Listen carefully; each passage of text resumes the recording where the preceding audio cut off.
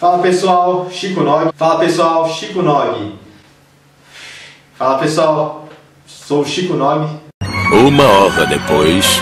Se você é iniciante no poker, assista esse vídeo até o final e descubra quais são os três principais erros que um iniciante comete ao participar de um time de poker. Meu nome é Chico Nog e eu vou te ajudar nessa caminhada.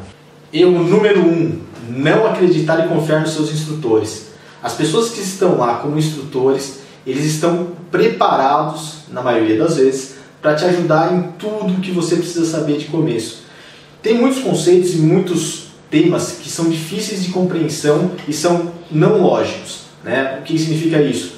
A maioria das pessoas pensa de uma forma diferente do que o conceito do poker correto é, funciona. Né? Então você precisa confiar de forma cega e tentar esquecer tudo aquilo que você já viu referente ao poker. Essas pessoas são pessoas especialistas, estão treinadas e acostumadas a passar esses conceitos para os novos jogadores. Se você tentar levar tudo que você tem de preconceitos em relação ao poker, provavelmente você vai cometer muitos erros e dificultar a sua alavancagem no time, fazendo com que os seus resultados demorem mais a aparecer. Então, confiar cegamente nos seus instrutores vai fazer com que você tenha um ganho, uma evolução muito mais rápida no início, na sua entrada no time. Erro número 2, jogo short stack. É uma das coisas onde existe maior quantidade de erros de um jogador iniciante e intermediário. Nesse ponto, é, é muito simples de se estudar. Por quê? Porque é basicamente matemática. Você estudando muito bem por ICMizer ou algum outro software como Range Resource ou alguma coisa desse tipo, vai fazer com que você tenha uma adaptação muito boa para o jogo short stack. Isso vai te trazer um ganho muito grande. Mas vai falar, Chico, eu não gosto de jogar é, turbo ou hyper. Mesmo assim, é muito importante, porque você fica short em todos os torneios. Se não for no começo, na mesa final você vai estar short com menos de 20, 15 big blinds. E isso vai te trazer um ganho muito bom logo de cara. Erro número 3. Você pode estar cometendo vários erros por não entender como que é a dinâmica e as oscilações do poker, a variância do poker que todo mundo fala aí, né? Ah, tô sob swing ou não tô swingando mal. É, isso é uma dificuldade que os jogadores iniciantes que entram no time, que vão ter que fazer um volume maior, acabam sofrendo. Eles acabam alterando a forma como jogam por não estar conseguindo resultados. Mas não necessariamente não conseguir resultados é um problema no jogo. Os resultados eles demoram um tempo para vir, você tem que fazer uma amostragem grande de jogos para que os resultados aconteçam. E, e se você é, não. Joyce, muito obrigado. Desculpe!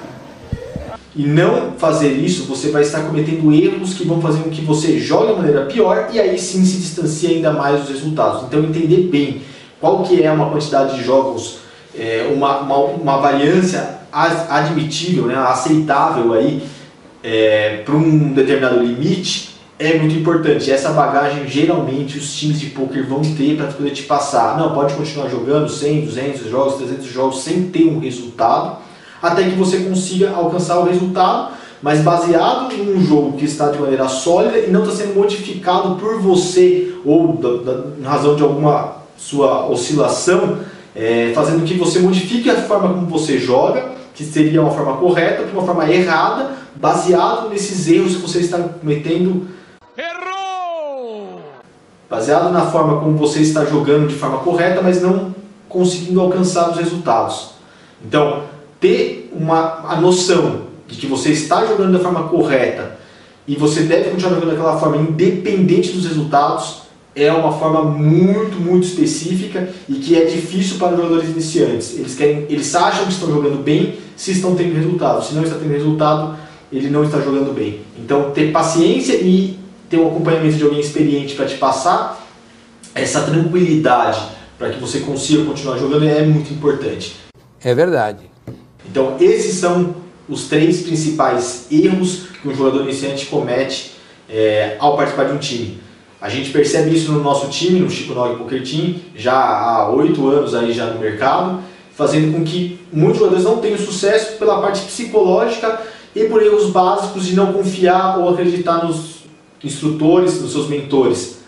Então é muito importante você ter um voto de, de confiança para isso quando você participar de um time, para você não cometer erros e tenha uma chance de sucesso maior. Valeu? Muito obrigado.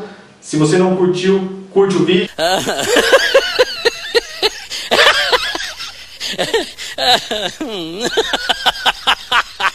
e aí pessoal, se você curtiu esse vídeo.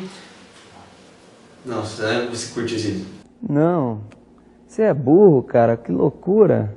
Como você é burro, que coisa absurda. Não consigo gravar muito bem o que você falou porque você fala de uma maneira burra. Se você gostou desse vídeo, vai lá dar aquele likezinho pra gente. Se não seguiu, você pode seguir, é claro, só se você quiser e você se interessar por esse tipo de assunto que nós vamos soltar de forma recorrente. Não, cara, que loucura. Fala pessoal, se você gostou desse vídeo, deixa seu like. Se não seguiu, a gente segue aí se você quiser.